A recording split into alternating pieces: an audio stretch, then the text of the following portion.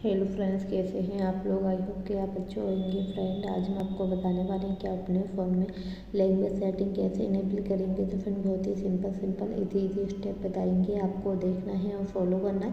Video की पूरी जानकारी लेने के लिए वीडियो लास्ट तक ज़रूर देखना है। अगर फ्रेंड आपने मेरे चैनल को सब्सक्राइब नहीं किया है तो वे लाइक दबाई चैनल को सब्सक्राइब कीजिए। फ्रेंड आपको ऑप्शन देखने में आता फ़ोन में सेटिंग सेटिंग को ओपन कर लेना है। सॉरी यहाँ से आपको सेटिंग को ओपन कर लेना है। ओपन करने के बाद में इस प्रकार का इंटरफेस ओपन हो जाएगा। यहाँ आपको ऑप्शन देखने को मिलेगा फ़ोन में। एडिटनल सेटिंग आपको यहाँ पर एडिटनल सेटिंग पर क्लिक कर लेना है। क्लिक करने के बाद में यहाँ से आपको ऑप्शन देखने को मिलेगा।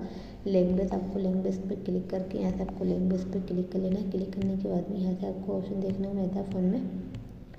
हिंदी आपको हिंदी पे क्लिक कर लेना। हिंदी पे क्लिक करने के बाद में इस प्रकार अपने फ़ोन में लैंग्वेज सेटिंग इनेबल करेंगे। आपके फ़ोन की लैंग्वेज जो है टोटल हिंदी हो गई है। अगर आपको अंग्रेज़ी करना है तो आपको यहाँ पे सिलेक्ट करके, सिलेक्ट करने के बाद में यहाँ से आपको ऑप्शन देखने को मिलता है। अंग्रेज़ी आपको यहाँ पे सिलेक्ट कर लेना। तो इस प्रकार अपने फ़ोन में लैंग्वेज सेटिंग इंग्लिश करेंगे। तो अगर फ्रेंड आपको मेरी वीडियो अच्छी लगी हो गाइस तो वीडियो को शेयर करें, लाइक करें, चैनल पर आए हो तो चैनल को सब्सक्राइब करें। मिलते हैं अगले नेक्स्ट इंटरेस्ट वीडियो में।